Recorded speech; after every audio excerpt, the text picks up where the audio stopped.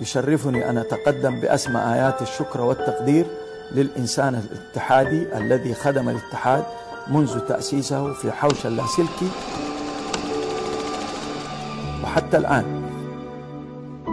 هذا الإنسان المحب لناديه رئيسا كان أو لاعبا أو إداريا أو من أي موقع وتحت أي مسمى وفي أي زمان.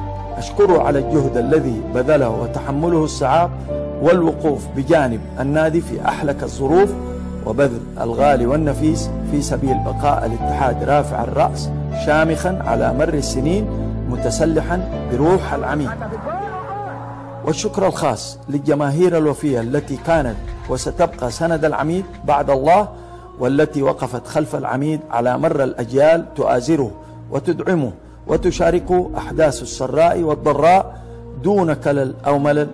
كل هؤلاء يستحقون التكريم والاحتفال بهم فردا فردا في المناسبات والاحتفالات القادمة بإذن الله.